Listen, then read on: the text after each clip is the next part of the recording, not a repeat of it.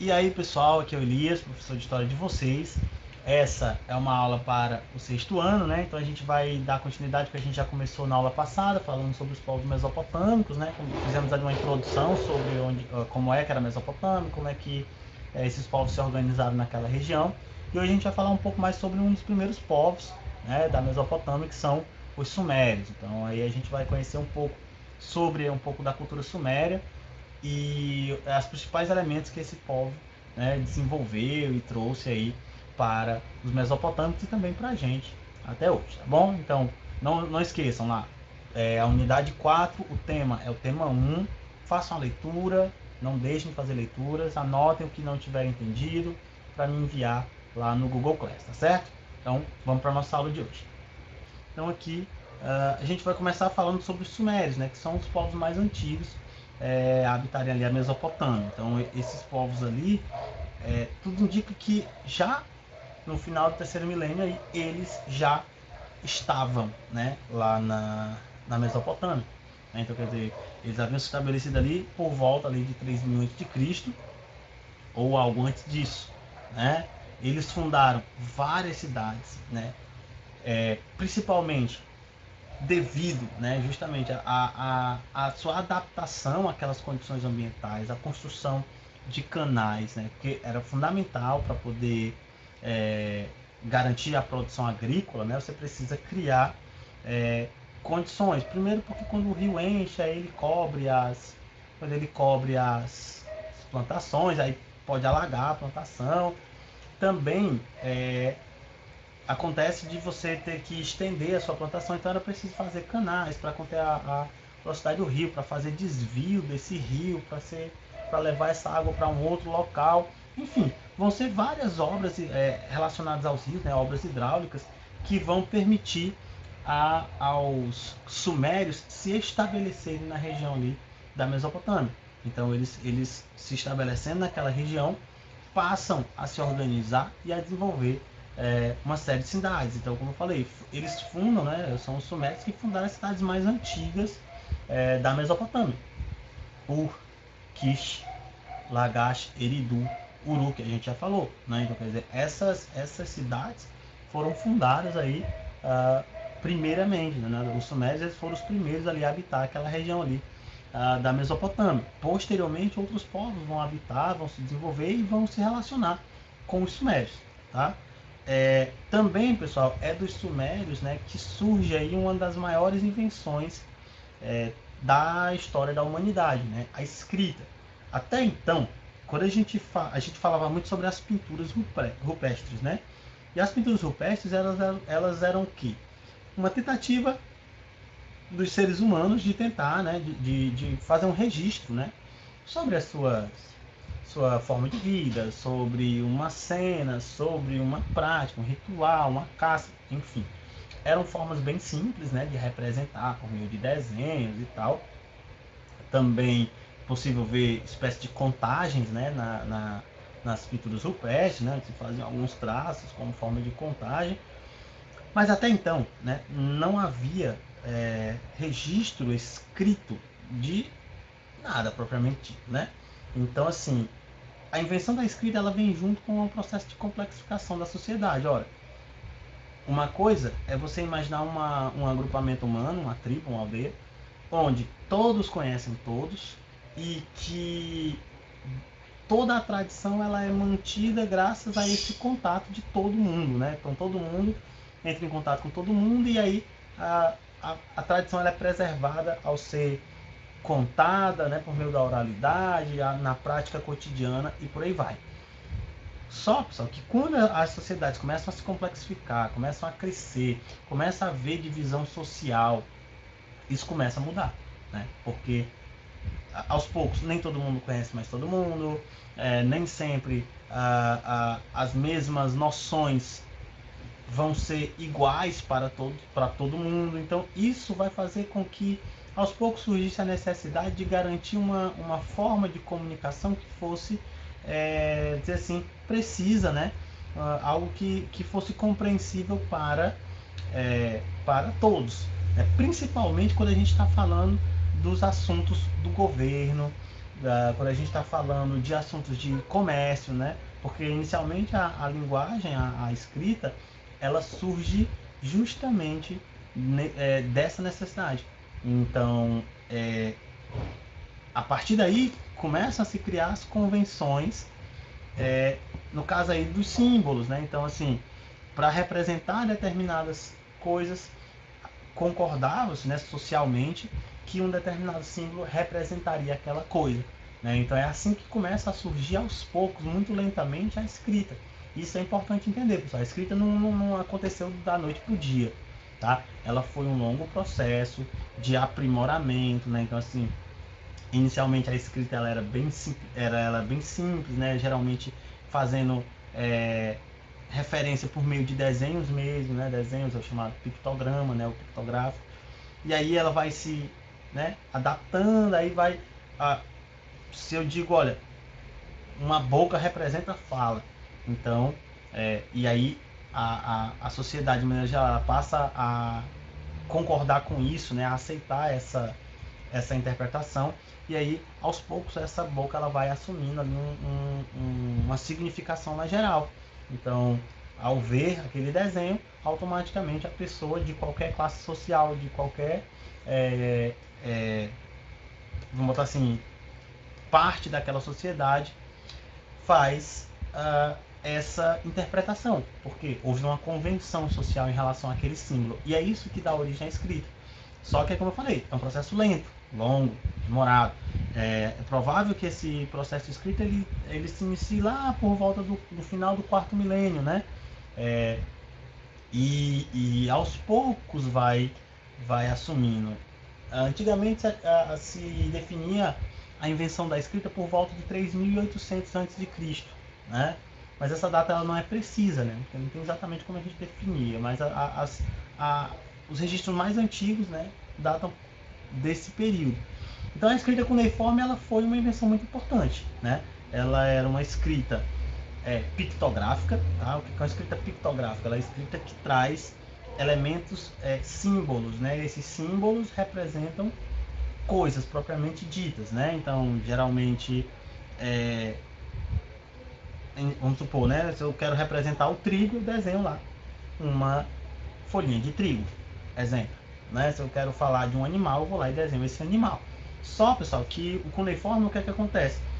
De, desse desenho, aos poucos, ele foi sendo simplificado, simplificado para poder atender às novas necessidades, principalmente de escrita rápida. Né? Quanto mais rápido a escrita fosse executada, melhor, né? Porque você poderia registrar mais coisas, em fatores, né? A necessidade de comércio, a necessidade de, do, do, governo de fazer registros. Tudo isso vai exigir uma escrita mais rápida.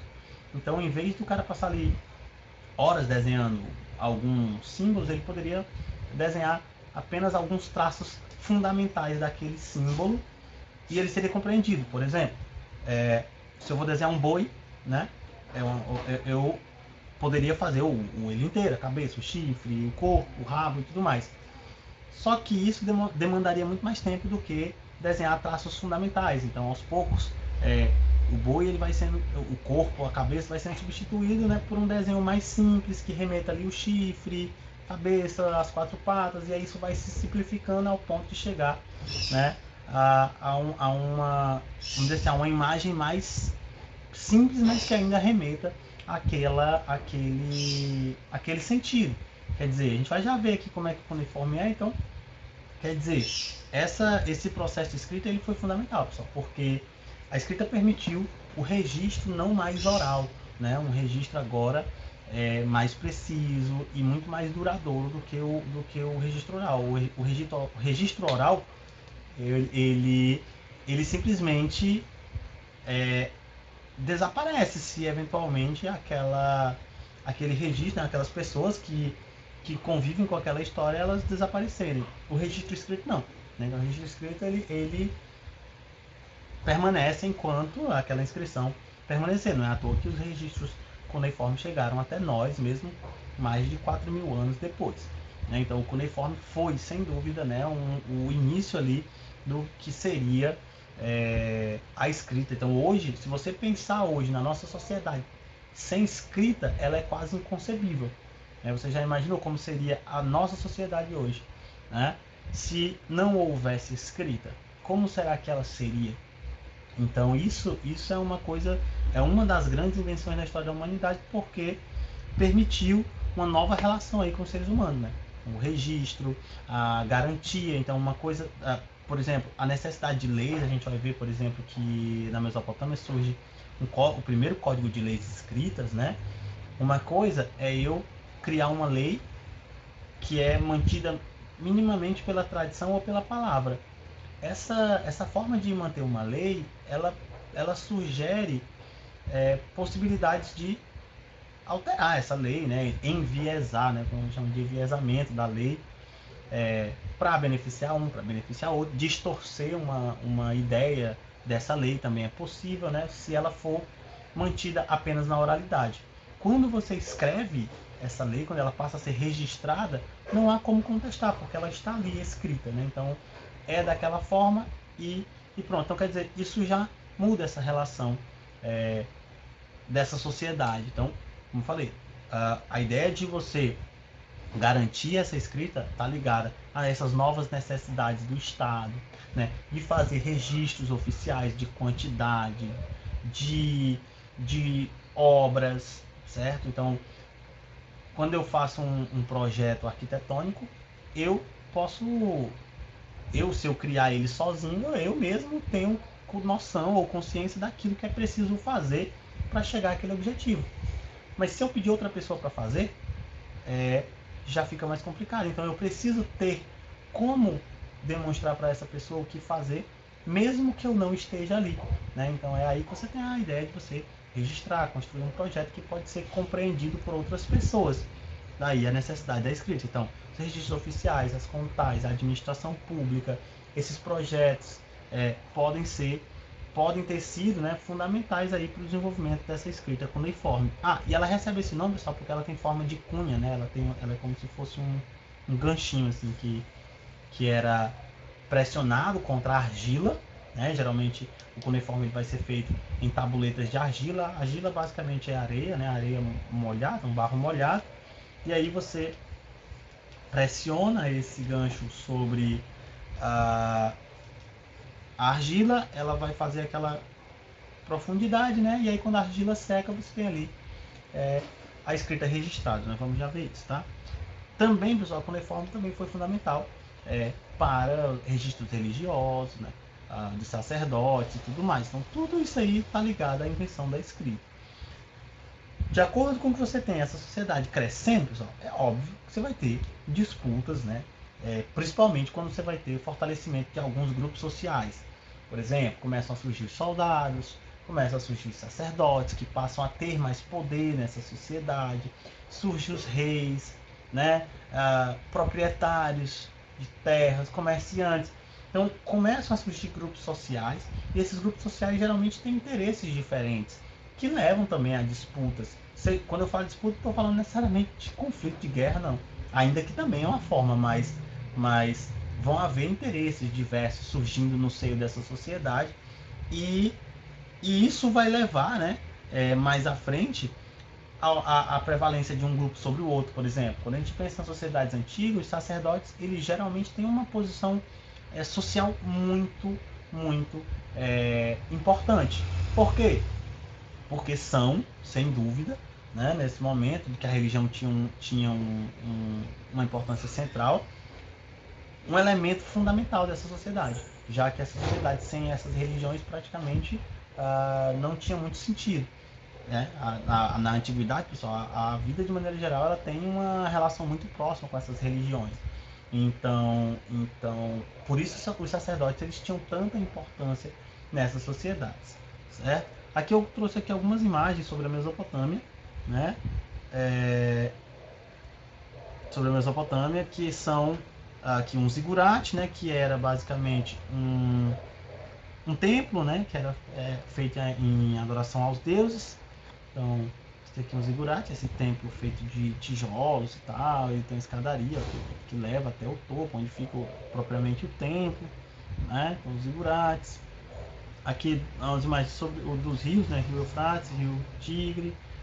É, aqui escavações né, na região lá da Mesopotâmia que revelam algumas cidades antigas é, que inclusive é, chegam a ser ameaçadas, pessoal, né? Porque a, aquela região ali, né, houve guerra no Iraque, né? Então também tem um, um, uma uma série de grupos fundamentalistas, né, é, islâmicos que que passam a destruir monumentos de origem mesopotâmica ou de outras de outras é, de outras civilizações por considerarem é, profanos, então destroem templos, destroem é, parte dessas cidades. E isso, isso é uma perca histórica realmente muito, muito grande, né? Mas aí fica é, evidente aí a importância desses povos é, na antiguidade, né? Aqui, ó, cuneiforme, pessoal. Aqui é uma uma tabuleta de cuneiforme, né? Você vê, olha só, a forma, né?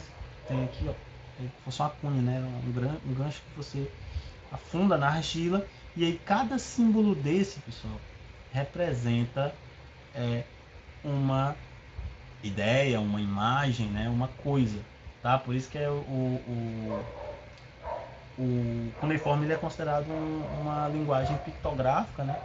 Onde você tem vários é, símbolos aqui que representam né, especificamente coisas e tal. Tá? E aí a junção também, há uma, há uma junção com alguns fonogramas e tal, a ideia de pronúncia para formar palavras. Então isso aqui é uma linguagem bastante complexa, tá? Bastante complexa. Aqui outra tabuleta aqui, ó. Olha aí. Tá vendo? Argila, né? Você tem argila, basicamente é barro. E aí você tem esses esses objetos feitos é, né, com a, essa cunha, né? Por isso cuneiforme. Ok? Então, pessoal, por hoje é só, tá? É, a gente nas próximas aulas vai continuar discutindo sobre os impérios mesopotâmicos, né, especificamente o Império Cadiano, o Império Babilônico. Tá? Não deixem de fazer a leitura do capítulo, tá? leiam ele com bastante atenção, anotem o que vocês não entenderem e enviem lá no Google Class para que eu possa responder e aí assim a gente vai dialogando, tá bom?